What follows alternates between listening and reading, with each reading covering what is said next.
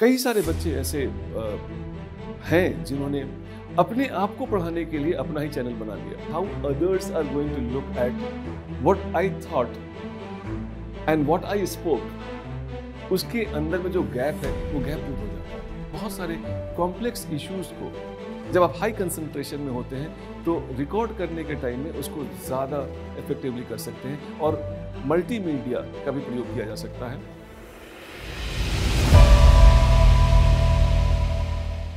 Hello parents आज बात करते हैं हम यूट्यूब के माध्यम से यूट्यूब चैनल की।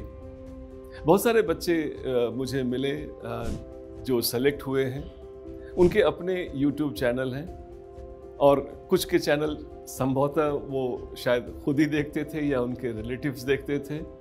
दो चार करीब के दोस्त देखते थे और बाद में वो बड़े चैनल बन गए हैं और उनमें से बहुत सारे नाम आप शायद जानते भी होंगे। उन्होंने कई बार अपने कई टॉक्स में बताया भी है कि ये उन्होंने अपने लिए किया था, अपनी क्लियरिटी के लिए। इन सब के बारे में बात करने से पहले मैं आपको एक चीज़ बताऊँ कि यूपीएससी के अंदर यूट्यूब आ चुका है। यूट्यूब हमारे सबकी ज़िंदगी में आ चुका है। यूपीएससी कैसे बच सकती थी? आप एस्पायरेंट कैसे बच सकते थे? गूगल के बाद कोई अगर सर्च इंजन की बात करें हम तो यूट्यूब आता है। कई सारे बच्चे ऐसे हैं जिन्होंने अपने आप को पढ़ाने के लिए अपना ही चैनल बना लिया। क्योंकि it is very important when you are thinking writing understanding something you do it for your own self how the others perceive it आप वहाँ पर जाकर के अगर कोई चीज़ एक्सप्लेन करते हैं इंटरव्यू के टाइम में भी अगर आप अपने आप को बोल करके खुद अपनी वीडियो प्राइवेट रखते हुए खुद ही देखते हैं तो आपको ये पता लगता है कि how others are going to look at what I thought and what I spoke उसके अंदर में जो गैप है, वो गैप दूर हो जाता है। कई बार आप कॉन्शियस होते हैं, अगर आप YouTube रिकॉर्ड कर रहे हैं, जैसे मैं अभी आपके लिए रिकॉर्ड कर रहा हूँ तो मैं कॉन्शियस हूँ कि मैं उन चीज़ों को बोलूँ, जिससे एक जो एस्पायरेंट है, जो आप सुन रहे हैं, वो किस प्रकार से उसको इंटरलाइज कर सकें। तो my mind is slightly more conscious at this stage compare to a situation जब मैं उसको ऐसा सोचूं मैं कि मैं खुला बैठकर सोच रहा हूँ अपने लिए। But if I have got a camera rolling in front of me I think I am little more conscious than I would have been otherwise but इस चैनल के माध्यम से आप जब अपने आप को खुद सुनते हैं, अपने कुछ रिकॉर्डेड वीडियो को सुनते हैं, चाहे वो इंटरव्यू का वीडियो हो या कोई कंसेप्ट का एक्सप्लेनेशन का हो तो वैसे स्तर पर आप पाएँगे कि you get lots of auto correction done आपको खुद पता लगती है कि मैंने इसको ज़्यादा बोलना था, मुझको इसको ज़्यादा अच्छी तरह से एक्सप्लेन करना था। You try understanding it better हाँ इसमें सिर्फ़ अपने चैनल नहीं, आप दूसरे के चैनल का भी प्रयोग कर सकते हैं। बट यूट्यूब एक मॉल है। आप ध्यान रखें कि आप मॉल में कितना ही टाइम निकाल करके आ जाएँ काफ़ी अच्छी लाइट होती है, काफ़ी अच्छा वातावरण होता है, काफ़ी अच्छी एनर्जी होती है, काफ़ी अच्छी इफ़ेक्टिव ए काम कर रही होती हैं। आपका टाइम कैसे निकल जाता है किसी मॉल में पता नहीं चलता है। You should be very clear कि जब आप किसी चैनल पे जाते हैं तो वहाँ से आपको क्या चाहिए।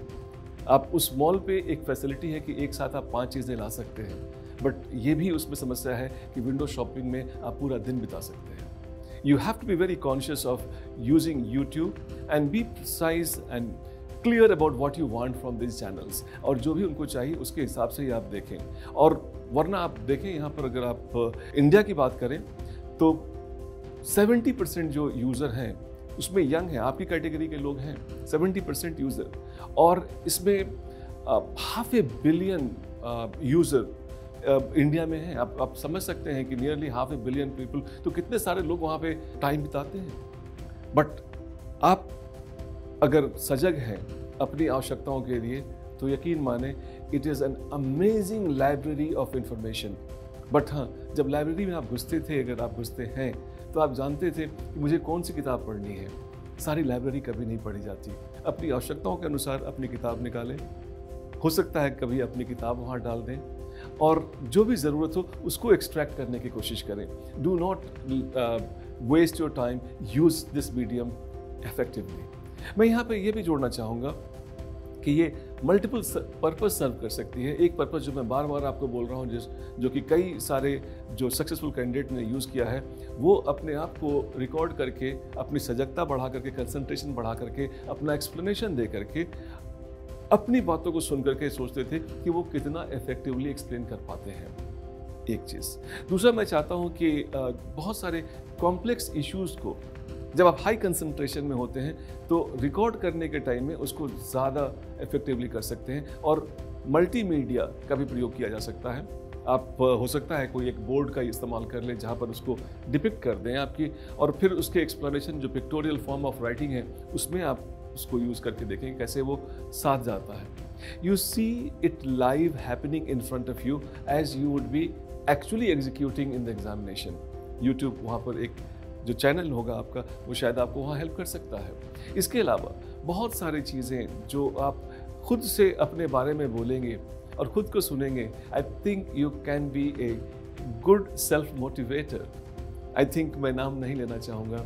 वो कहती थी कि मैं जब भी लो होती थी तो अपने आप को मोटिवेट करने के लिए मैं एक वीडियो रिकॉर्ड करती थी और उसको प्राइवेट रखते हुए मैंने उसको शुरू किया। और बाद में अपनी ही वीडियो देख करके खुद को मोटिवेट कर लेती थी। आज चूँकि मैंने नाम नहीं लिया है, आपका नाम नहीं लेना चाहूँगा, उनके वीडियो बहुत मशहूर हैं और काफ़ी लोग उनको देख करके आज मोटिवेट होते हैं। हाँ लेकिन उन्होंने उस समय वो रिकॉर्ड किया था जब वो उनको खुद अपने लिए वो मोटिवेशन चाहिए थी।